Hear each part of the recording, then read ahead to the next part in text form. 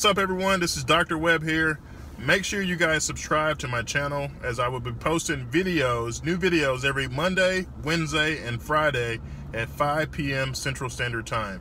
You don't want to miss these videos, so please subscribe.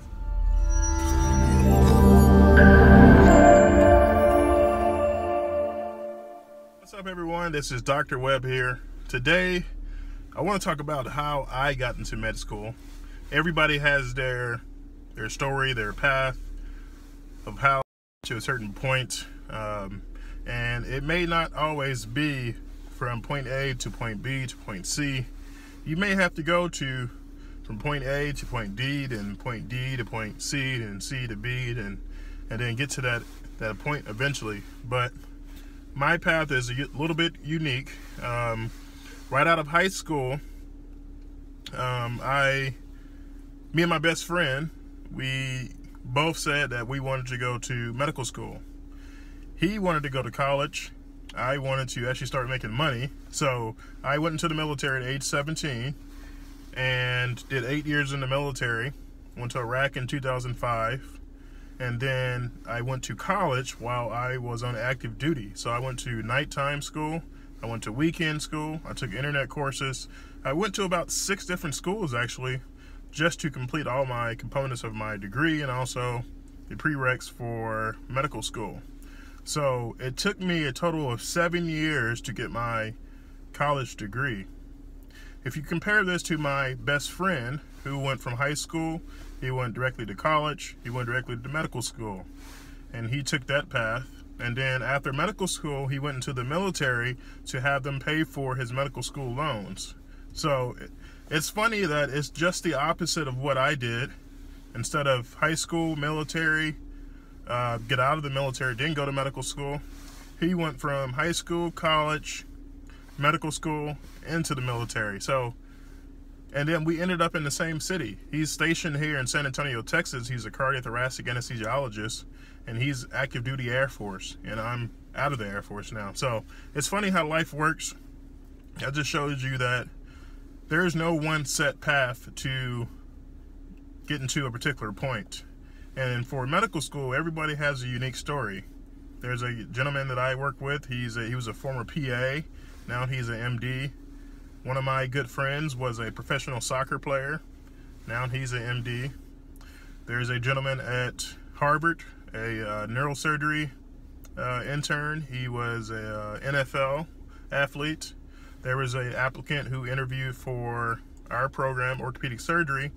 He played football for the Packers, NFL athlete, and now he's a uh, ortho intern at the Mayo Clinic. So everybody has their unique kind of path uh, to get to a certain point. But for me, um, while I was in the military, I went to school at nighttime, weekends. I was working full time in the military, and it was kind of challenging to do the requirements for medical school to complete my degree because I would go to work at, you know, 7 p.m. at night, get off at 7 a.m. in the morning, and then I would go to school from 8 to 12, and then sleep from 1 to 5, and then do it all over again. I did that for seven years.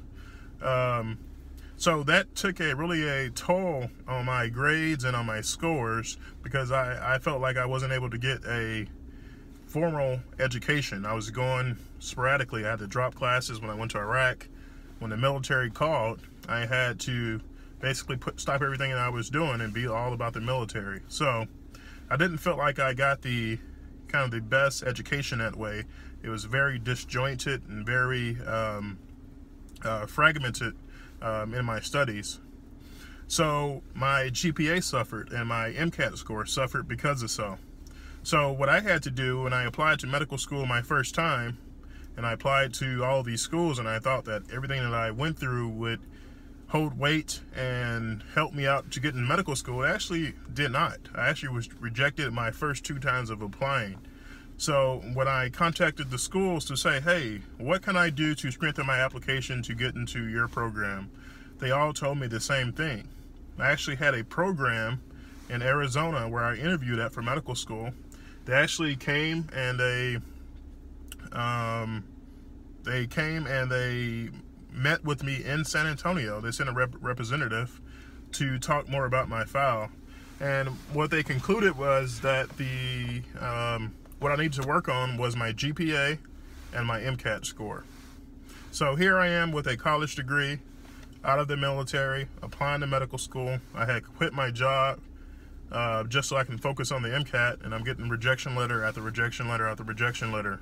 So what I decided what was best for me, and based off of all this input that I received, was to do a graduate program to strengthen my application. And I did a Georgetown uh, graduate program called the GEMS program, the Georgetown Experimental Medical Program. And it's a program for disadvantaged students who um, to strengthen your application for medical school. They have a master's program there as well. It's called the SMP program. And there are lots of other programs around the country that have post-bac programs. I did that program as a year program. It was extremely hard. We took classes with the medical students. We took graduate classes like biochemistry, cellular biology. We took anatomy and physiology. We took renal. We took uh, cardiovascular, respiratory, uh, and GI. And all of these, um, all of these classes, they basically want to see if you can handle the rigors of medical school. So I worked my butt off that year and I actually did really well and got accepted to medical school. I will put my uh, acceptance letter right up here. But um, that day was a very uh, undescribable day because I was so excited. Everything that I had worked up to that point, it was just in an email. One little small email kind of summed up all those years of work. So I got into medical school by doing a post-bac program. There are lots of them out there. There's one at Drexel. There's one at Georgetown. And these are kind of direct access to the administration. You meet people, you network, and you show them like, hey, I really want to be here. Um, I can handle medical school because all they all they're looking at is your GPA, your MCAT score, and they're, they're deciding off of that. So if you are struggling to get into medical school, consider a post-bac program or a master's program to strengthen your application. This will tell the admissions committee like, hey, I can handle medical school, just give me opportunity. And that's all I needed was opportunity to show someone that I can handle it. And I actually did extremely well in medical school, got into a top specialty orthopedic surgery uh, at my number one choice of residency because in graduate and um, undergrad, I didn't know that um, I didn't really take it that serious. I was studying here and there, but I didn't know that I would need to take use that information on the MCAT until my last year of college.